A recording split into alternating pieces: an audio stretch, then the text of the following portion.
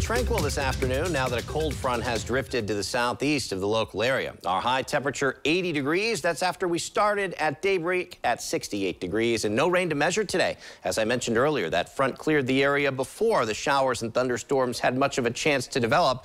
Now it is raining over southern Ohio, but locally we are dry and will continue to be dry tonight.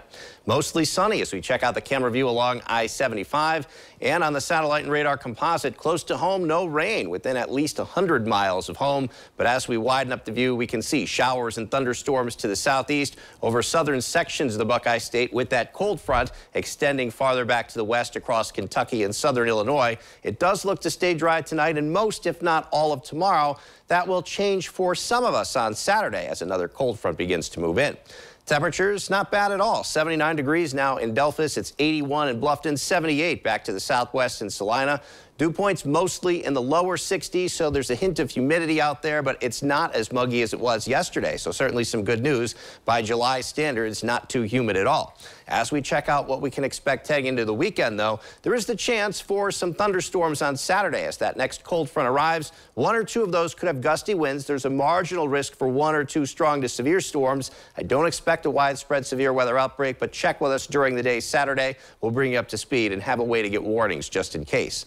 Mostly clear through this evening. Temperatures mostly on the pleasant side. Later tonight, clear to partly cloudy. Sunshine tomorrow after some early morning fog, and then a mostly sunny sky tomorrow afternoon. On Saturday, that next cold front begins to approach. Scattered showers and thunderstorms. Now, it will be hit or miss. Not everyone will see the rain, but that's our next best chance of seeing some showers. Most of Sunday at this point looks dry as that front drops to the southeast. Still a risk of a stray shower or storm, but a better chance of rain on our Saturday. On Monday, another cold front approaches, still another risk of showers and storms by then.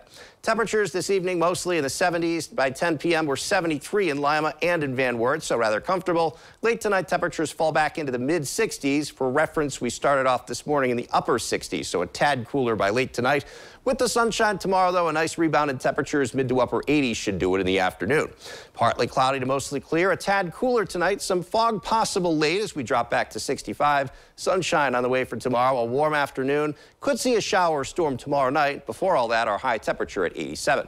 Seven-day storm authority forecast. Scattered showers and storms with some sunshine on Saturday. Back into a mostly sunny sky for Sunday. Another risk of showers and storms Monday. Right now, Tuesday looks mostly sunny. Another scattering of showers and storms, a possibility by Wednesday and Thursday. High temperatures by then in the lower to middle 80s. Stuart and Katie.